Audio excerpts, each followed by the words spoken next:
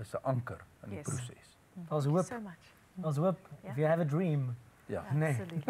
Fanie, dankie dat julle saam met ons kon kuier het. Ek wens ons het meer tyd gehad om al die detail te hoor en, en alles uit te vind, maar ons is dankbaar saam met jou dat dat die Here Tamara ook oor jou lewe gestuur het, jy weet. En uh, dat dit so groot suksesverhaal is.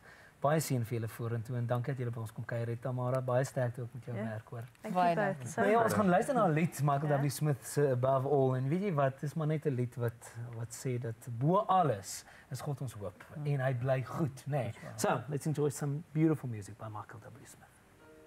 What a beautiful song, Michael W. Smith, above all. And what an inspirational story. The humility Fani has developed, the deepening of his faith because of the cross he's had to bear, as well as the amazingly skillful and caring people like Tamara who've crossed his path.